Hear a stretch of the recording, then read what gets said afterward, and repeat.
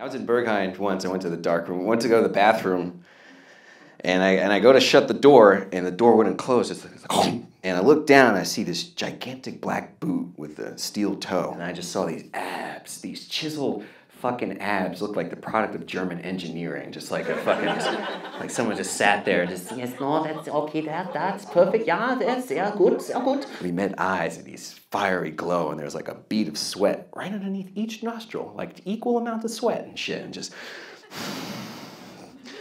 and I was like, nine? Like, no. Entschuldigung, and it just walks off he was real nice about it, you know.